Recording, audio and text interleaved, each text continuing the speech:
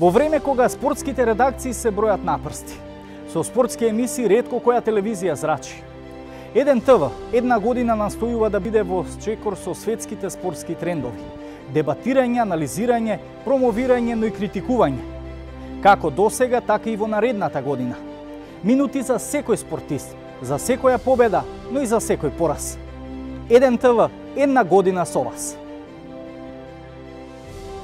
сірекенроданден еден тава.